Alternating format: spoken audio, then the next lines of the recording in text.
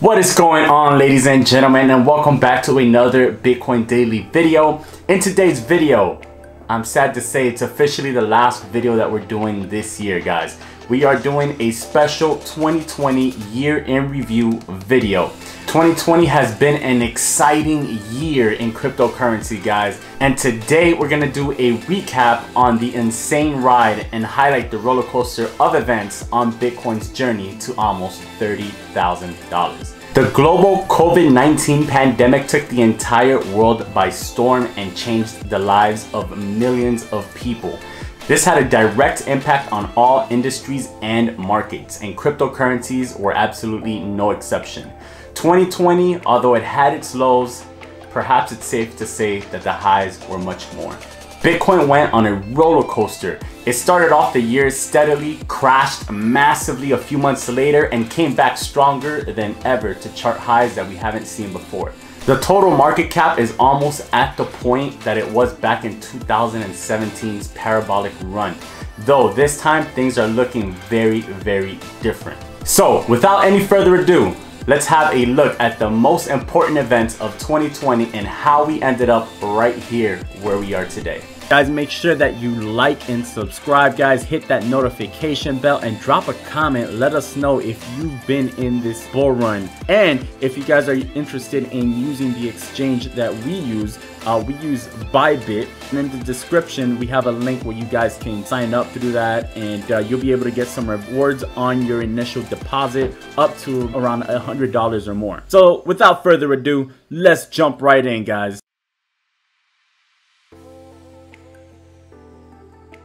January through March, the world before COVID.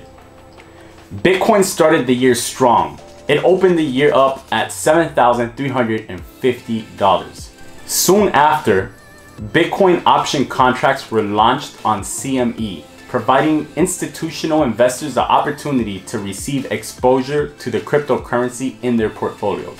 Bitcoin ended up running up about 42% to a high of $10,500 in mid-February before the panic started to set in. Corona was born. Technically, the coronavirus was discovered in China before the beginning of 2020 but it was really in March when most countries took serious measures as the virus went rampant. Corona began to spread in China around February, but at this point the spread was somewhat limited to the country itself. But towards the end of the month, that's when things started taking a turn for the worse. In March, Wall Street saw the fastest 10% drop in its entire history. Bitcoin saw one of the worst weeks that it's seen since 2013 with a 33% drop, including a 45% drop on March 12th itself. It dropped from $7,939 to $4,300 on that one day. Once the dust settled, however, many realized that the worst had passed and that the best was yet to come especially with what our governments did next. April to July. Fed's printers go brrrr. Money printer go brrrr.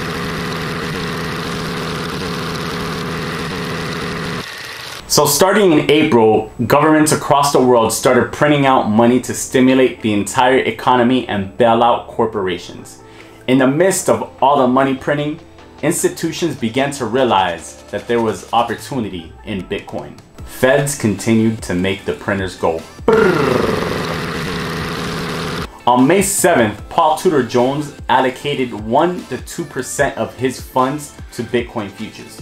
A few days later, on May 11th, was the third ever halving, which reduced the supply of freshly minted Bitcoins in half while of course the Fed's printers went.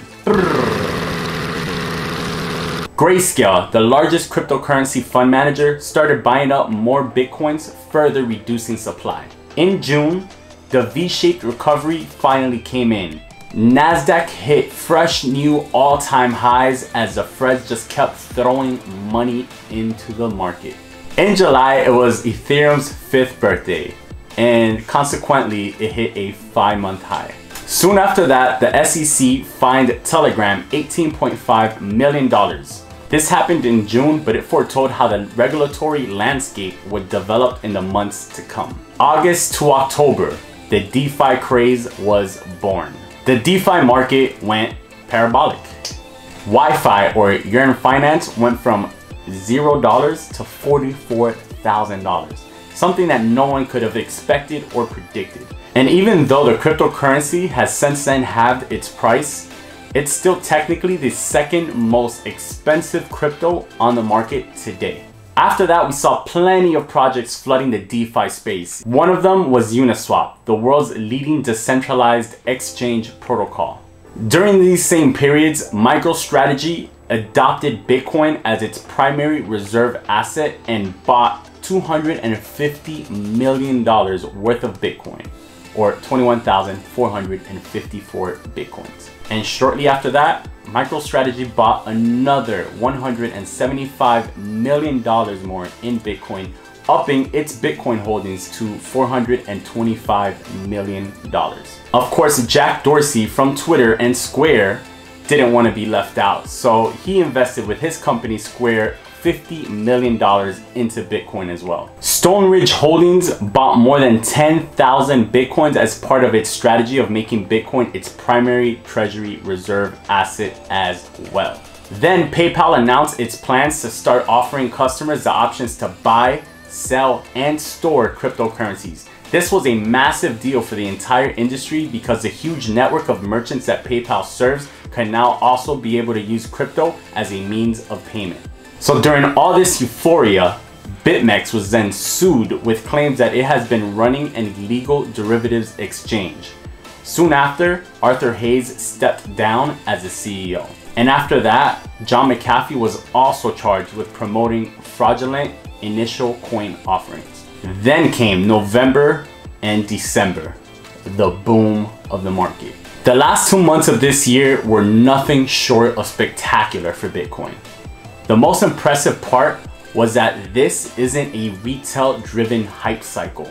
Institutional investors were the ones fueling the fire behind Bitcoin this time around. Soon after, more and more hedge funds began to invest in Bitcoin as well. So of course, naturally, Bitcoin tested previous all-time highs in November for the first time since 2017. In December, MicroStrategy bought $700 million more in Bitcoin, putting its total Bitcoin holdings over $1 billion. Bitcoin, of course, broke all-time highs. And as you guys know, we're currently at $29,000. But of course, the government wanted to come and attack us yet again, right? So the SEC pressed charges against Ripple.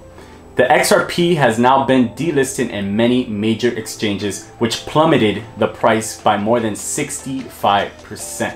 2020 was perhaps the most interesting year for the entire cryptocurrency industry.